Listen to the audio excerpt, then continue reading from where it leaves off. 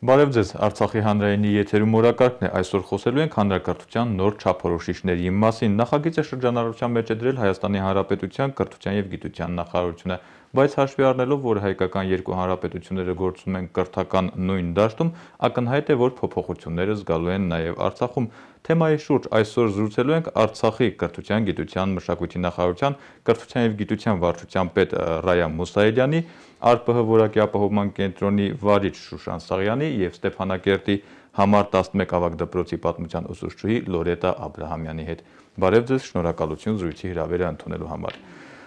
Առաջարկում եմ նախքան նորույթների մասին խոսելը, խոսենք դրանից ինչ ունենք։ Խոսենք կարճ հետո կանցնենք նորույթներին։ Արդյոք հանրակրթության գործող չափորոշիչները բավարար եք համարում։ Տիկին Մուսալյան, գուցե ձեզնից սկսենք։ Ես կողմնակից եմ նոր փոփոխություններին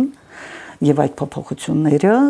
լավ է ճիշտ է որ այդ ինչպես գիտեք մեր հասարակությունն էլ տեղեկացված է որ այդ չափորոշիչները գործելու են 2022-23 ուսումնական տարվանից սկսած մենք բավականին ժամանակ ունենք այն քննարկելու մեր կարծիքը, մեր դատողությունները, դիտողությունները ներկայացնելու համար կարծում եմ ասյամենի արդյունքում կունենանք կատարյալ, եթե ոչ կատարյալ, ապա բավականին բարձր որակով չափորոշիչներ։ Ես ուզում եմ հավատալ դրան։ Ես այդ կարծիքին։ Հայկական կրթական համակարգը անկախության շրջանի հաստատումից ի վեր անընդհատական փոփոխությունների փուլեր է վերապրում եւ սա բնականաբար է, քանի որ խորթային կարգերից անցումը այլ կարգի հասարակական կառուցվածքի բոլոր օղակների ներսում էլ ենթադրում էր այդպիսի փոփոխություններ։ Եվ կրթահամակարգը կանգնել էր մի լուրջ խնդրի առջև պահպանել խորթային համակարգը, թե համաշխարային կրթահամակարգին համահունչ անցումը կատարել ուսուցչակենտրոն համակարգից աշակերտակենտրոն համակարգ կարգի եւ այն բոլոր չափորոշիչները, չափանիշները, կրթական ծրագրերը, մեթոդները, եղանակները, որոնք իրացնում են մեր հայկական կրթօջախները, ըստ էության անցումային փուլ են, այսինքն պետք է ժամանակ, որ ի վերջո եւ ուսումնառողները եւ դասավանդողները կարողանան ինտեգրվել նորագույն պահանջներին։ Իսկ նորագույն պահանջները ո՞րն է։ Ըստ էության ես այս փուլը նաեւ կորակեի որպես եվրոպականացման շրջան այն է, որ հանրակրթական գիտելիքը ունենա ոչ թե ակադեմիական պահանջ, բավարարի ոչ թե ակադեմիական պահանջը, այլ հասարակական պահանջը։ Այսինքն հանրակրթական դպրոցն ավարտածի կոմպետենցիաները, գիտելիքների, կարողությունների, հմտությունների ամբողջությունը օգնի շրջանավարտին հասարակական կյանքում արդյունավետ ինտեգրվելու համար եւ այս բոլոր փոփոխությունները, եթե իհարկե արդյունավետ լինեն, սրանք բերելու են սրան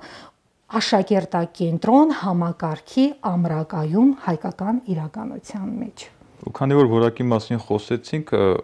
գործող համակարգով, այսպես ասենք, ունենք շրջանավարտների մի բանակ, որոնց մի ստվար մասն էլ հասնում է Արցախի մայր բու։ Այսպես ասենք, ստացված որակից գոհ եք Այստեղ մի քանի գործոններ կան։ Արտահոսումնական գործոնների մեջ բավականին ուժեղ է հայկական իրականության այս վիճակը, ոչ պատերազմ, ոչ խաղաղություն իրավիճակը մի կողմից, մյուս կողմից հայկական աշխատաշուկայի ոչ ձևավորված համակարգը, չէ որ ի վերջո ուսանողը միտում է աշխատաշուկայում գտնելու իր տեղը աշակերտը ընտրում է բուղը հիմք ընդունելով աշխատաշուկայի վիճակը Չէ որ նա 4 տարի կամ 6 տարի հենց այնպես ժամանակ չի կորցնում, առանձնապես եթե վճարովի համակարգ է։ Սրանք ուժեղ գործոններ են, որ մի կողմից ազդում են հայկական կրթական համակարգի վրա ուսումնական գործոնների հետ կապված նորից եմ ասում այս անցումային փուլը որ հայկական դպրոցը դեռևս փնտրում այն արդյունավետ միջոցներ այն արդյունավետ եղանակները տալ ժամանակին համահունչ կրթություն, պատրաստել աշակերտին այնպես, որ նա կարողանա ժամանակակից կյանքին ինտեգրվել, օգտագործվում է հիմա այսպիսի արտահայտություն հարափոփող միջավայր դպրոցը որքանով է կարողանում աշակերտին պատրաստել հարափոփող միջավայրին եւ այս հարափոփող միջավայրն է այսինքն աշխատաշուկայում մասնագիտությունների անընդհատական փոփոխությունը կամ նոր մասնագիտությունների առաջացումը որոնք դեռևս դպրոցը կամ բուհը չի կարողանում ստեղծել համապատասխան ռեսուրսներ այս մասնագետներին բավարարելու համար։ Սրանք բավականին ուժեղ գործոններ են բուհական համակարգում թերություններից լրիվ ձերբազատվելու համար։ Բայց իհարկե մենք էլ բուհում ակնկալում ենք, որ աշակերտակենտրոն ուսուցման համակարգի ամրակայումը նաև կնպաստի բուհում ուսանողակենտրոն համակարգի ամրակայմանը որը ըստ իր չափորոշիչների, ըստ իր նպատակադրման խնդիրների եւ հստակ տված վերջնարդյունքների տալիս է հարափոփող միջավայրում արդյունավետորեն ինտեգրվող քաղաքացի այսինքն հիմքում ոչ թե ակադեմիական պահանջն է, այլ հասարակական պահանջը ունենալ հասարակության մեջ արդյունավետ կողմնորոշվելու եւ արդյունավետ ելքեր, մասնագիտական ելքեր ունենալու կարողություն։ Եվ այս տեսակետից կոնկրետ Արցախի պետական համալսարանի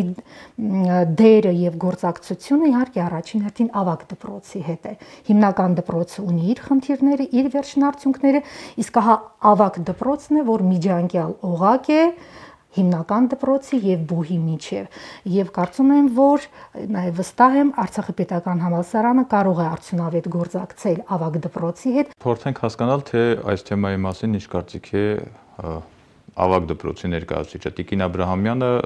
ունի եւ հիմնական դպրոցում աշխատելու փորձ եւ ավագ դպրոցում։ Արդյոք հասունացել էր պահը չափորոշիչները փոխելու համար։ Պահը բաղուց է արդեն հասունացել, հատկապես երբ 2000-ականների կեսին կրթության առումով մենք ստորագրել ենք բավականին հզոր մի փաստաթուղթ դա բոլոնյան հայեցակարգին ինտեգրվելու փաստաթուղթն է եւ այդ ռազմավարական փաստաթղթի մեջ իթիվս նախորդ տարիների ստորագրված մի շարք այլ նորմատիվ ակտերի ընդգրկված են այնպիսի կարևոր կետեր որոնք այսօր փորձում են տեսականից արդեն գործնականի վերածել այսինքն դպրոցներին ազատություն տալը բնակավարների այդ բնագավառների ունիֆիկացման համակարգը, այսինքն միասնացման համակարգը, դասագրքերի բեռնաթափման համակարգը, կրեդիտային մոդուլային մեխանիզմների ներդրումը դպրոցում։ Մենք Բոլոնիայով սկսեցինք ավակ դպրոցի, մեկնարկեցինք ավակ դպրոցի ներդրումը այս գործընթացով բայց կիսատ է մնացել իր մեջ ենթակա մի շարք գործողություններ Գաղտնիք չէ նաև, որ տարիներ շարունակ մեր ուսուցիչները գործող դասագրքերի, ծրագրերի, չափորոշիչների ձեռքին կրակի մեջ էին գտնվում։ Անընդհատ յուրաքանչյուր տարվա վերջին, երբ հաշվետվություններ ենք մենք անցնում նախարարությանը, համապատասխան գերատեսչությանը, նամակների միջոցով ընդհանուր եւ այլ, մենք նշում ենք, որ անհրաժեշտ է վերանայել այս այս այս կետերը, որովհետեւ մեր ընդհանուր պետության պահանջները չեն համընկնում նպատակների հետ։ Այդ նպատակների իրագործումը կազմակերպվում է հենց հանրակրթության ոլորտում, որովհետև հանրակրթության մեջ մենք պետք է ճիշտ նկատվել ասվել այստեղ, որ մենք պետք է պատրաստենք քաղաքացի ոչ թե կարճաժամկետ միջավայրում ինտեգրվելու, հաստատվելու եւ այլն համար, այլև ցկյանք այդքանը տեղի ունենա։ Հետևաբար այն ինչ որ այսօր դրվել է վերարչև փաստաթղթի տեսքով որպես նախագիծ հանրակրթության չափորոշիչների հայեցակարգ անհրաժեշտություն էր այլ խնդիր է թե այսբերգից այսբերգի ներքևի հատվածում ինչ ենթահարցեր կան, ինչ խնդիրներ կան, բայց այսպես արտաքին հայացքից ինքը շատ հրապուրիչ էր։ Թեման շատ քննարկվում է, քննադատվում է, բայց ամբողջական պատկերացումը կարծես թե չկա։ Նախ հստակեցնենք, ինչի մասին է խոսքը, ինչ է պարունակում այս նախագիծը, որ արդեն շրջանառության մեջ է դրված։ Տիկին Մուսայելյան Հանրակրթության պետական չափորոշիչների ինչ որ այժմ կա մեր կրթական դաշտում եւ դարձել է քննարկման այսպիսի նյութ թեմա, այն իր մեջ պարունակում է ապագայի այսպես ասած, մի նախագիծ, որ նոր սերունդը դաստիարակելով այդ չափորոշիչներով, նրանց արժև դրնելով համապատասխան այն խնդիրների, ինչ որ չափորոշիչն է պարունակում, մենք իրոք պետք է հասնենք մի այնպիսի սերնդի, որը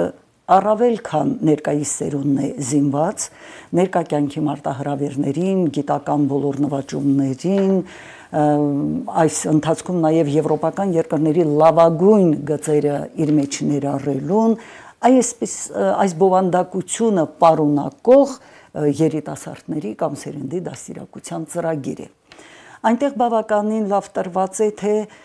հանրակրթության, հանրակրթական դպրոցների տարբեր օղակներում ինչպիսի գիտելիք պետք է ունենա աշակերտը։ Եվ եթե կարողանանք մենք հասնել դրան, եւ կարծում եմ մենք ունենք այդ ներուժը Արցախում ուսուցիչների հզոր բանակի հանձինս, մեր վաստակաշատ ուսուցիչների, մեր փորձառու ուսուցիչների, ինչու ոչ նաև երիտասարդների, որոնք ունեն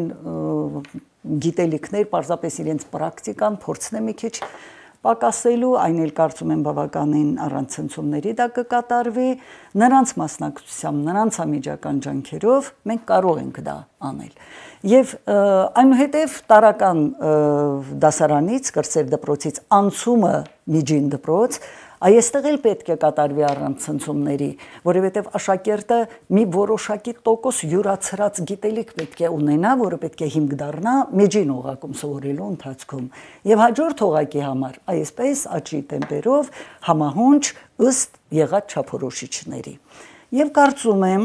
այս չափորոշիչների մեջ ըստ ուսուցիչներից ունեցած տեղեկությունների բավական նախարարությունը գործ է կատարել այս ընթացքում շրջանային վարչակազմերի աշխատակազմերի կրթության բաժինների եւ Ստեփանակերտի քաղաքապետարանի կրթության բաժիններին հանձնարարվել է որ เป զի նրանք կարծիքներ ունենան շրջանների հանրակրթական դպրոցների ուսուցիչներից իհարկե քննարկման արդյունքում եւ մենք ունենք այդ ամփոփ տեղեկությունները շրջաններից մեծամասամբ այդ ուսուցիչների կարծիքը, որ չափորոշիչները ժամանակին էին միանշանակ սակար։ Տիկի Մուսալյան, դրա մասին մի փոքր ավելի ուշ կխոսենք Արցախից, ինչպես են եւ ովքեր են մասնակցում այդ քննարկումներին ըստ ձեր ներկայացրածի սա ներկայացնում էր պետական քաղաքականությունը կրթության ոլորտում եւ ներկայացված են բավական մանրամասն թե ինչ գործիքներով է այդ քաղաքականությունը իրականացվել։ Այո, ինչ ուղղություններով պիտի կատարվի եւ ինչ գործիքներով։ Հիմա փորձենք հասկանալ, արդյոք կտրուկ շրջադարձային փոփոխություններ են նախատեսվում, այսինքն եղածը քանդվում է նորից ենք սկսում թե Ոչ, իհարկե։ Ոչ, նա հիմք Ինչ է առաջարկվում այդ փոփոխություններով։ Այդ փոփոխությունները եղած կյանքի բնագավառում, կյանքում տեղի ունեցող պահանջներին, մարտահրավերներին համապատասխան նոր կետեր չափորոշիչների մեջ նոր առաջադրանքներ է դնում, որը եթե մենք անցածից ժառանգած կրթական համակարգը հիմք դարձնելով, մենք կարող ենք անցնել դրան, ինչի համար մենք շնորհակալ ենք մեր ունեցածին, ինչ ունեցել ենք առանց այդ հիմքի նոր չափորոշիչներ իրականացնել մենք չենք կարող։ Տիկին Աբրամյան հաստրել եք երևի ձեր առարկայի մասով այդ նորություններին ծանոթանալ։ Դուք եք համակարծիք թույլ տվեք առարկայական չափորոշիչների եւ ծրագրերի մասին հարցը հարցին առայժմ ես չպատասխանեմ, այլ պատասխանեմ հանրակրթական պետական չափորոշիչների ընդհանուր դրույթների հայեցակարգի վերաբերյալ փոփոխությունների մասին։ Ընդհանուր առմամբ գործող չափորոշիչներին հետ համեմատելով նոր ներդրված այս չափորոշիչները իրենց տեսակի մեջ բավականին այսպես գեղեցիկ կետեր են պարունակում եւ ճիշտ է այն շատ ծավալուն է գործողի համեմատ, բայց ինքը նաեւ շատ խոստումնալից է, որ ապագայում եթե տեսականից մենք գործնական դաշտում այն կիրառելու լինենք, իսկապես այն նպատակները, որը դրված է ի սկզբանե չափորոշչում, մենք կհասնենք մեր նպատակներին։ Ուզում եմ շեշտել այն փաստը, որ չափորոշչի մեջ բավականին մեծ ներդրումներ ունենք միջազգային փորձից ձեռք բերած կետերով եւ այս փորձը ճիշտ է մի կողմից շատ ողջունելի է, բայց մյուս կողմից կան այնպիսի նրբին կետեր, մանավանդ ազգային արժանապատվակ կրող ժողովրդների համար, ազգերի համար, որոնց շատ նրբորեն պետք է մոտենալ, շատ զգուշորեն պետք է մոտենալ։ Այնպես պետք է անել, որ հանկարծ դա մեր մտակեցվածքի վրա ազդեցություն չգործի մանավանդ մենք բավականին լուրջ չելենջներ մարտահրավերներ ունենք որոնց գործող սերունդը արկա սերունդը եւ եկող սերունդը պետք է պատասխանի Ինչ վերաբերվում է առարկայական չափորոշիչներին, այս ոլորտում բավականին խոսվել է վերջին երկու ամիսների ընթացքում, եղել են հանրային մասնագիտական քննարկումներ, եղել են բավականին բաց երկխոսություններ, ինչու ոչ համագործակցության առումով նաև այս ոլորտում խնդիրները այնքանով են, որքանով այսբերգի ներքին հատվածը չի երևացել ի սկզբանե, երբ մենք ընդհանուր չափորոշիչների դրույթները ուսումնասիրում ենք։ Երբ արդեն սկսեցինք մանրամասնորեն կարդալ տողարտող, վանկարվանք, եւ մեր արժեվ մի այնպիսի խճանկարային պատկեր է ձևավորվել, որ սա եթե ներդրվի այս կարգի չափորոշիչը, մենք պետք է աստորեն եւ կարող է շեղվենք մեր ազգային ուղոց։ Եթե լուրջ տեղ չի տրվում հայոց պատմության ամենակոնցեպտուալ հարցերին, եթե լուրջ տեղ չի տրվում հայոց եկեղեցու, ես թույլ տվեք նաև շեշտեմ, հայ առաքելական եկեղեցու ամենակարևորագույն մեզ համար քրիստոնեական արժեհամակարգի հարցերին, որը չափորոշիչների մեջ նվազ թիվել չի կազմում գոնե մի բառով նշելու համար։ Եթե այդ չափորոշիչների մեջ հիմնականում խոսվում է միջազգային եւ համամարտկային արժեքներին անընդհատ ինտեգրվելու եւ այդ վեկտորը չի ուղված մեր ներազգային, ազգային, մեր պետական ուղակի խնդիրների լուծման միջոցով դուրս գալ համաշխարհային դաշտ, այստեղ ես արդեն նկատել եմ վտանգներ եւ շատ լուրջ վտանգներ։ Ճիշտ է, մենք գտնվելու Հայաստանի Հանրապետության Կրթության, Գիտության, Մշակույթի Սպորտի նախարարության հետ դաշտում բնականաբար մեր ստացած բոլոր կրթության վերաբերյալ հաստատքները մենք ստանում ենք Հայաստանի Հանրապետությունից, ելնելով իհարկե մեր քաղաքական ղարքավիճակից որպես չճանաչված, բայց դա չի նշանակում, թե մենք կուրորեն առանց քննարկելու, առանց դրանց մեջ փոփոխություններ մտցնելու այն հрамցնում ենք հասարակությանը։ Նույնն էլ ես այստեղ իհարկե կան այդպիսի եթե մի քիչ նրբորեն ասեմ սայթակումներ նկատում ենք, բայց դա չի նշանակում, որ մենք պետք է իրոք կարենք մենք եվրոպական երկրներին բնորոշ ինչ որ կրթությանը կամ սերնդին վերաբերող հատկանիշներ առանց այն քննարկելու առանց այն հաշվի առնելու եւ բավականին մեզ մոտ հաճելիորեն արմատավորված են մեր ավանդական օրենքները, մեր հավատքը մեր մեջ ավելի լավ է նստած, ես ուզում եմ հավատալ եւ հավաստիացնում եմ, որ սա կպահպանվի եւ այդ չափորոշիչների այդ արտասահմանյան երանգը երբեք չի կարող ստվեր գցել մեր այսօրվա թե բնակչության առումով, թե մասնագիտական առումով եւ թե մեր ուղղվածության ու նպատակի առումով ես վտանգ այդքան էլ մեծ չեմ տեսնում։ Արցախի մարզբուհի ներկայացուցիչը այս թեմայի մասին ինչ կասի։ Կարծես թե կա նոր առաջարկ,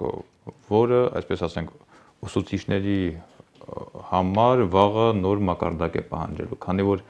ուսուցիչների ամենամեծ բանակը պատրաստվում հենց մայրբուհում, արդյոք այս փոփոխությունները մայրբուհի աշխատանքներում որոշակի նորություններ ենթադրելու են։ Նորություններ կրթական համակարգը ըստ էության միշտ էլ ունենալու է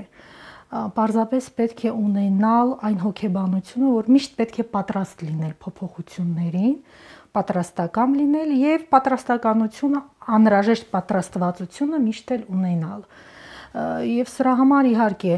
մայրբուհը, որ արդեն անցում է կատարել այս համակարգին, ստեղծում է նրա այդ համակարգում ինտեգրվելու համապատասխան մեթոդաբանություն, ունի ուղեցույցներ, որոնցում բավականին հստակ տրված են այն ուղենիշներ, ուղիները, որոնց կարելի է հասնել։ Այս տեսակետից կարծում եմ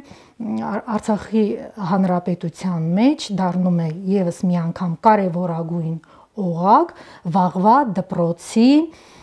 ուսուցիչներ պատրաստելու համար, այսինքն ուսուցիչներ, որոնք այս համակարգի տրամաբանության մեջ արդեն ներառվել են։ Իհարկե այստեղ մարդ լինելու եւ հայ լինելու որոշակի հարաբերության այդ հայեցակարգը ազգային փիլիսոփայություն է, սա ազգի մտավորականների քննարկման եւ ազգի մտավորականների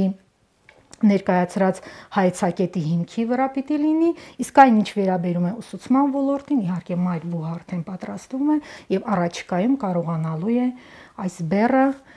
կրել եւ Արցախի հանրապետությանը մատակարարել հենց նման ուսուցիչներ։ Քննադատությունները հիմնականում ոչ թե այսպես ասենք ոչ ազգային առարկաների շուրջ են, ասենք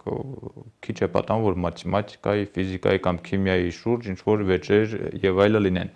Հիմնականում ազգային պատկանելությունը շեշտող առարկաների շուրջ են քննարկումները։ Ասենք հայոց պատմություն, հայ գրականություն, նշեցիք եկեղեցու պատմություն եւ գոնե իմ տպավորությամբ այն իրավիճակն է, որ ավելի շատ հուզական գնահատականներն են գերակշռում, քան բուն հիմնավորված գնահատականները, որոնք ենթադրելու են նաև որոշակի փոփոխություններ։ Շատ հարցեր, որ այսպես ասենք, շատերիս դժգոհությունն է հարուցում, ըստ էության կարգավորված է օրենքներով, գործող օրենքներով, ոչ թե հին, նոր, այլ գործող օրենքներով, որոնք մեր ուղեկիցն են արդեն որոշները 10 եւ ավել տարի հիմնական վտանգները որտեղ եք տեսնում։ Ну հայագիտական ուղղության մասն ենք խոսում ըստ էության։ Առաջինը հենց կրսերողակի ուսուցիչների մենք կցեցինք այդ չափորոշիչների քննարկմանը եւ նրանց արձագանքները բավականին լավ էին եւ ես կոնկրետ մտավախություն ունեի բնագիտական առարկաներից, բայց այստեղ մեր մասնագետները, հենց նախարարության մասնագետները, ինչպես նաև մեր հանրապետության լավագույն մասնագետների ընդգրկմամբ կատարվել է քննարկում, որի արդյունքում նրանք ասել են նույնիսկ կար աշխարհագրություն առարկայից մասնավորապես կարող եմ ասել, որ նրանք տարիներ շարունակ մատնանշում էին, որ պետք է այսպեսին լինի, ու այ այս նոր չափորոշիչներում անկախ իրենց այդ դիտողություններին, որ դեռևս մենք պիտի ստանայինք նոր, այնտեղ արդեն կատարված էր դա։ Սա հաճելիորեն նկատելի է։ Ճիշտ եք նկատել նաև որ հայագիտության բնագավառում։ Այ օրինակ իսկ Ֆոմետիկին Աբրամյանը համակարծիք կլինի իմ հետ, որ այստեղ հիմնականում քննադատությունները ուղված են, որ ժամանակագրական հաջորդականությունը պահպանված չէ, որ ուսումնասիրելով ուրարտական պետությունից գալիս հասնում ենք մինչև մեր օրեր, նորից հետ դառնում 11-րդ դասարանում, սկսում 5-րդ դարից, սա արդեն ինչ որ շղթայի, այսպես ասած, մի աղավաղում է, բայց թեմաների առումով նկատելին է նաև մեկ այլ բան։ Օրինակ, որ մեր պատմությունը, որ մենք պատմաբանները, ուսուցիչները, շահագրգիռ բոլոր անձիկ, ինչու ոչ ամբողջ հասարակությունը, երբ մեր հարևան թուրք ադրբեջանցի պատմաբանները փորձում էին կասկածի ցակ դնել հայերիս բնիկ հայկական լեռնաշխարի ժողովուրդը լինելու խնդիրը, մենք մեր պատմաբանները մեր ապացուցելով, ցույց տալով մեր բազմադարյան պատմությունը այսօր մեր ըստ չափորոշիչների մեր պատմության ուսումնասիրությունը սկսվելու է ուրարտական պետությունից Քրիստոսից առաջ 900 դարից։ Այո։ Այստեղ 2000 տարվա, ինչպես բազմաթիվ անգամ արդեն լսել ենք, 2000 տարվա պատմությունը, ասենք մենք չենք ուսումնասիրում, ինչը անընդունելի է շատ շատերի համար բայց կա նաև եւ կամավորական շարժման մասին, որ այնքան արծածված է, որ չեմ ուզում դրան անդրադառնալ, որ այդ մասին չկա առաջին համաշխարհային պատերազմի ժամանական ընթացքում, որ հայրենասիրական բնույթի, որ պետք է մեր մենթալիտետի, մեր արյան մեջ եղած այդ նվիրվածությունը մեր հայրենիքի, մեր հավատքի պաշտպանության, այստեղ ինչ որ այս չափորոշիչների մեջ ինչ որ թուլացում է, բայց չափորոշիչները մեզ չեն կարող դրա մասին ավելին վկայել այստեղ վկայողը պետք է լինեն դասագրքերը։ Չնայած Տիկին Մուսայելյանը նշում է, որ չափորոշիչները այդքան էական չեն, ավելի կարևոր են դասագրքերը, բայց ես համոզված ասում եմ, որ չափորոշիչները դա հանրակրթության մայրն է, սահմանադրությունն է, որով ստեղծվելու են դասագրքերը։ Այսինքն ինչպիսի կառուցվածք ունենա չափորոշիչը, դրա հիման վրա ստեղծվելու են դասագրքերը։ Հետևաբար օր առաջ մենք պետք է մեր մտահոգությունները, մեր այսպես վերաբերմունքը տեսակետը արտահայտենք չափորոշչի հարցում, որպեսի նա արդեն եթե վերաձևման է ենթարկելու, եթե այն ինչ որ փոփոխությունների է ենթարկվելու, ժամանակին արվի, որպեսի գրքերը տպագրելուց հետո նորից խոպաններ չկտնեն ու ասեն, դե պետքա մի քանի մի առ ժամանակ հետո սպասենք, որպեսի նորից ներդրվեն նոր դասագրքերի այսպես ձևաչափը։ Խնդիրը փիլիսոփայական է բավականին, այսինքն դպրոցը թողարկում է մարդու թե հայի, թե երկուսին միաժամանակ, երկուսին միաժամանակ ինչպիսի հարաբերակցություն իմ կարծիքով այս խնդիրը դնողները, չափորոշիչները, առաջադրողները նաև փորձել են մեզ թափեցնել։ Ի վերջո մենք ուր ենք գնում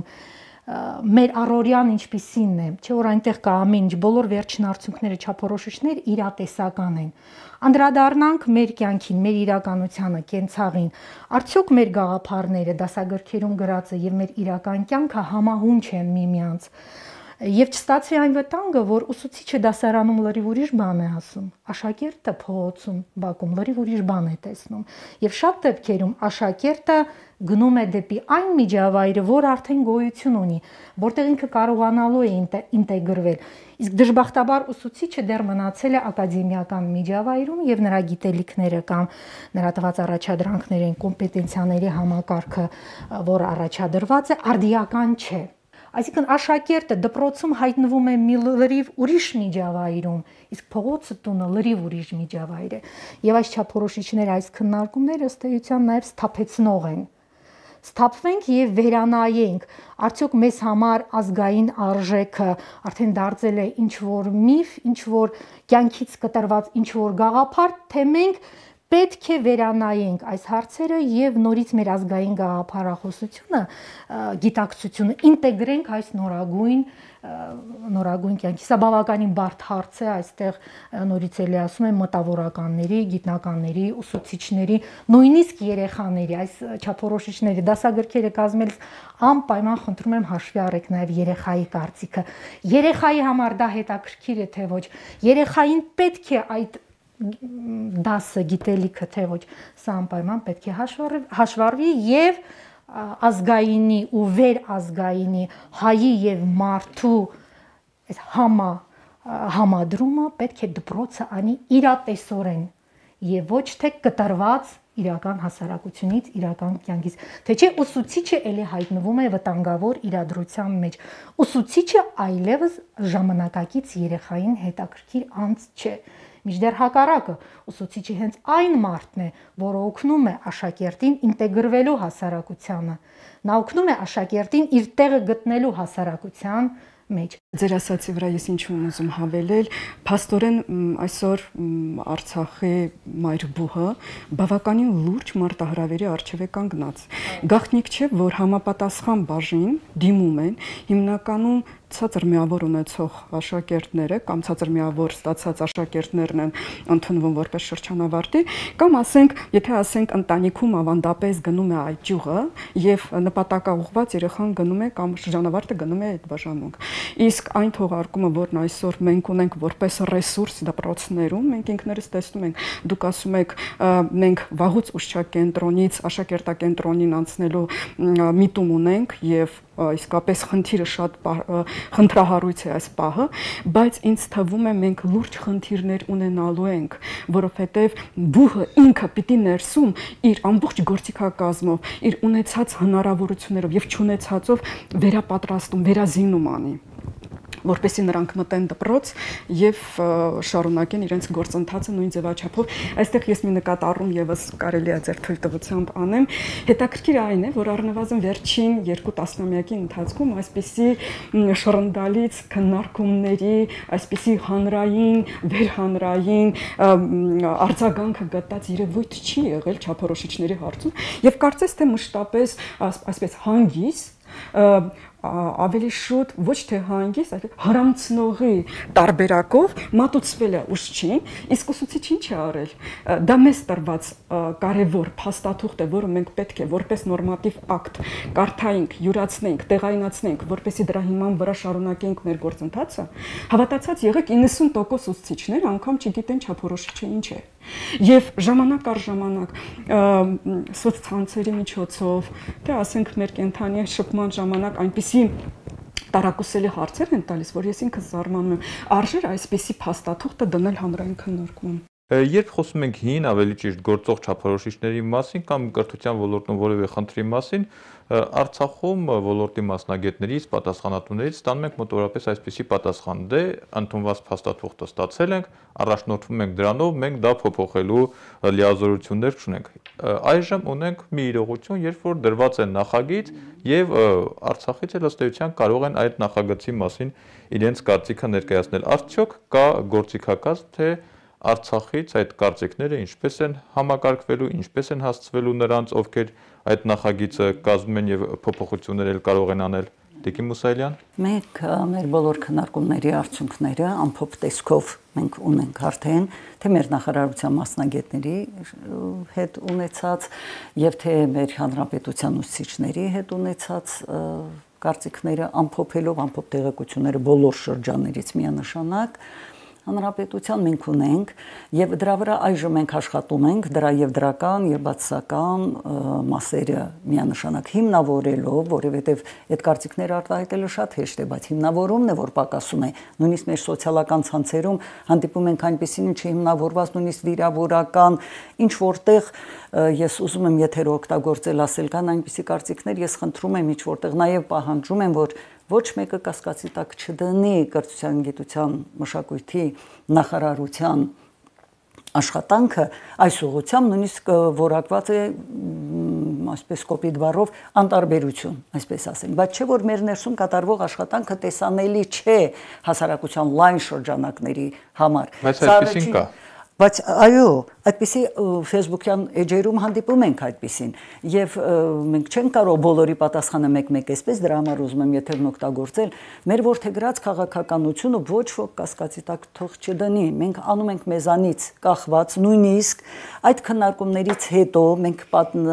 հրավիրել ենք Հայաստանի Հանրապետության կրթության գիտության մշակույթի սպորտի փոխնախարար Ժան Անդրեասյանին, որ ինքը պետք է ավելի շուտ մենք կանխատեսում ենք, որ ավելի շուտ կստացվի մեր հանդիպումը, բայց կլինի մի քիչ ուշացումով եւ այդ քննարկումը նրա հետ մենք լայն հասարակությանը կներկայացնենք հերոստատեսությամբ դարձյալ այդ քննարկումը կլինի ու բացի դրանից մեր առաջարկությունները մեր հիմնավորումներով հենվելով իհարկե ուսուցիչների կամ հասարակության կարծիքի վրա հիմնավորումներով ներկայացնելու ենք նույնիսկ մեր իշխանություններին նրանք էլ տեղյակ լինելով դրա համար ու հենց այդ փոխնախարարի ներկայության ժամանակ մենք պատրաստվում ենք այդ անել, այդ ամփոփ տեղեկատվությունը ներկայացնել նաև նրան Հայաստանի Հանրապետության համապատասխան հանձնաժողովներին նրանք ներկայացնելու նպատակով։ Հետո մենք գիտենք, որ այժմ մենք կանգնել ենք մի սերնդի առաջ, որոնց մոտ համակարգի ձևավորումը դերևս խմորման փուլում է։ Սա էլ է դժվար, ինչպես ճիշտ նշեցին իմ գործընկերները, որ դա մի ժամանակաշրջան է, երբ մեծագույն աշխատանք պետք է կատարի սկսած տարական ուղակից հանրակրթական դպրոցի ավագ դպրոցը եւ իհարկե բուհը։ Համամիտ եմ Տիկին Աբրամյանի այն արտահայտությանը, որ մեր շատ մասնագիտություններ, հնչեղ մասնագիտություններ են ընտրում եւ թաքցնելու բան չէ, որ լավ սովորող, ավելի մեծ գիտելիքներ ունեցող աշակերտները ընտրում են ոչ մանկավարժական ֆակուլտետները։ Այստեղ էլ մենք ունենք ինչ որ քայլեր, որ պետք է ուղղորդվեն, մենք էլ կատարում ենք դա։ Մենք յուրաքանչյուր մեր մասնագետներս լինելով դպրոցներում, նույնիսկ հravirելով տնորեններ, փոխտնորենների, հանձնարարում ենք, որ պետք է աշխատանք կատարվի երեխաների հետ։ Սկսած ամենահասարակ նախադասությունից ձեր երեխաները ում եք հանձնելու եկեք ինքները դարձեք հենց այն առաջին մունետիկները որ ընտրիկ մանկավարժի մասնագիտություն մի քիչ այդ որակական առաջընթացը կախված է նաև այ այդ քարոշչությունից այստեղ ձեր աշխատանքը ավելի ծանր է այսպես ասեմ։ Իհարկե, սա նաև պետական աշխատանք է, որտեղ պետությունը պետք է կարողանա դպրոցը դարձնել հաճելի միջավայր։ Երեխան սիրի դպրոցը, եւ ցանկանա հետագայում այդտեղ աշխատելու։ Իսկ երբ նա տեսնում է ուսուցչի դժվարին անշնորհակալ աշխատանքը, նա մտովի արդեն իրեն դնում է այդտեղում եւ ասում է ինչու ես ես էլ հասնեմ այս վիճակին։ Դա մոտեցումը պետական է։ Ինչու խորթային տարիներին ուսուցիչը, ուսուցչի մասնագիտությունը եղել է բավականին բարձր դիրք է, որտեղ խորթային պետությունը կարողացել է բավարարել խորթային դպրոցի պահանջները։ Խորթային ուսուցիչ ուսուցչի թիկունքում կանգնած է եղել պետությունը։ Պետությունը աջակցել է ուսուցչին։ Ճիշտ ասած։ Իսկ հիմա Իսկ հիմա այլ իրավիճակ է երեխան այսքանը հասկանում է։ Երեխան այսքանը տեսնում է ինչ որտեղ իհարկե համաձայն են, բայց հիմա էլ իշխանությունները որթեգրել են այն քաղաքականությունը, ինչ որ մենք վաղուց գիտենք, իշխանությունները իրեն ձեռքը պահում են կրթության զարգերակի վրա, այս տեսակետից մենք մեր նոր դպրոցների կառուցումը կամ վերանորոգումը կամ հակեցվածությունը տեխնիկական տեսակետից բավականին մեծ տարբերություն կա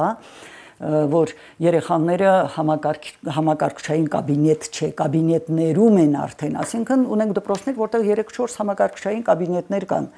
Ունենք դպրոցներ, որոնք տեխնիկական տեսակետից էլեկտրոնային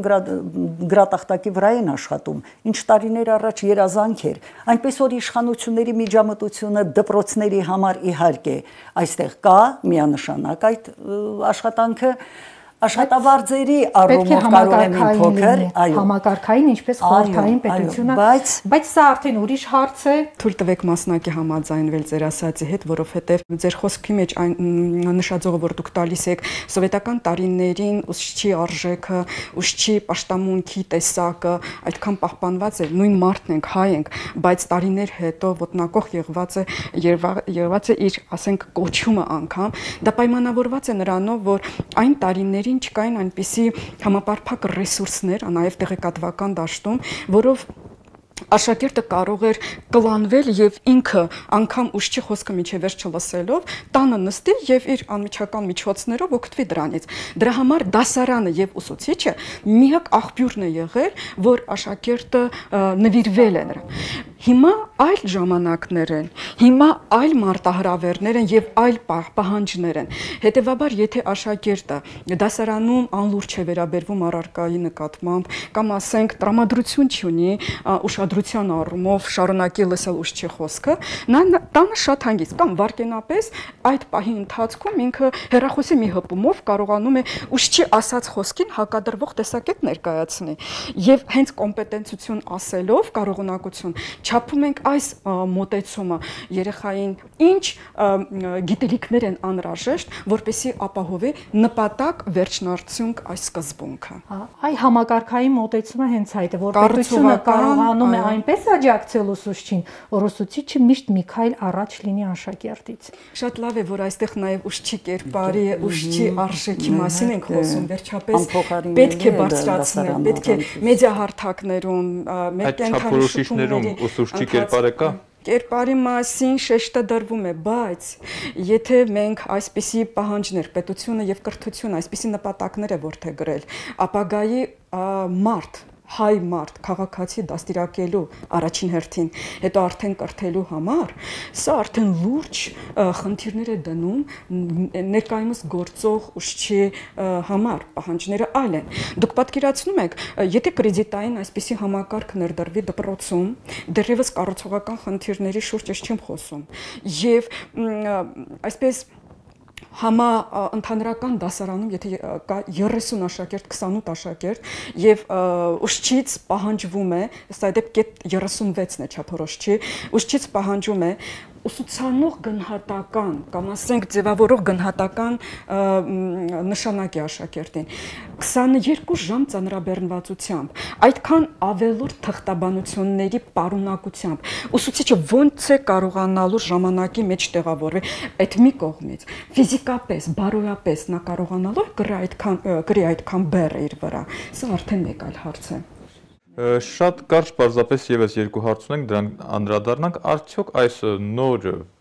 չափորոշիչներում կամ դրանցով ենթադրվող դասագրքերում Արցախը իր տեղը ունենալու է։ Ну, այսպես ասենք, արդար չի լինի, եթե արմավիրցի դպրոցականին մանրամասն պատմեն Արցախի պատմության այս կամ այն դրվագը, Արցախի աշխարհագրության այս կամ այն դրվագը, ինչը կարծում եմ եթե ոչ պարտադիր, առնվազն ցանկալի Արցախի դպրոցների համար։ Արդյոք այս նրբությունները հաշվի են առնելու։ Դաշտը ընդհանուր է, բայց Ճիշտ ասած, այ մեր հենց այդ առաջարկությունների մեջ մենք ունենք նաև այդ խնդիրը, որ դրել ենք, որ Արցախի պատմությունը պետք է բոլոր դեպքերում եթե ոչ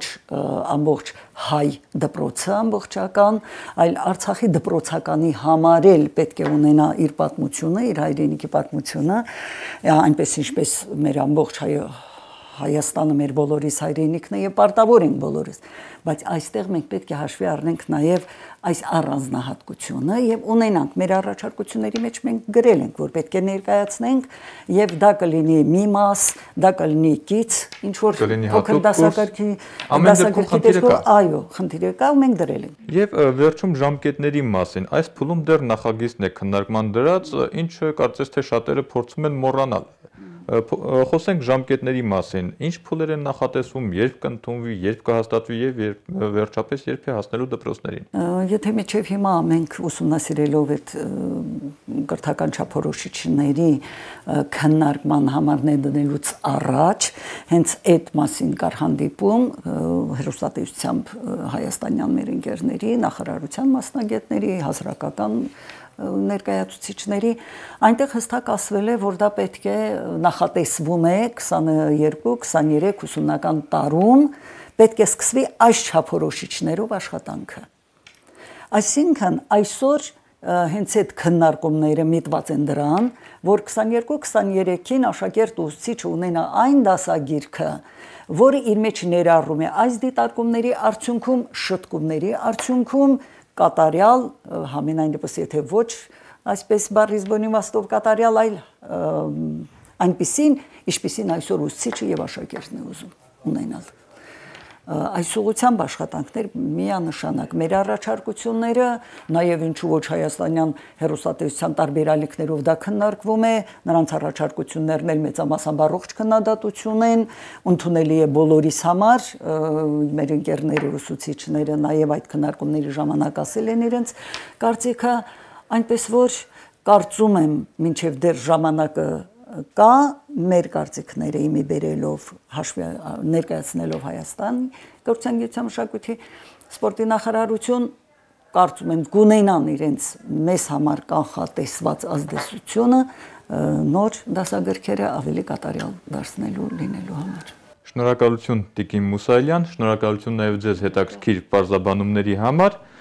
Այսօրվա համար նախատեսել էինք այսքանը օրակարգը եթերում կլինի 1 շաբաթ անց։ Մինչ հանդիպումը։ Thank you.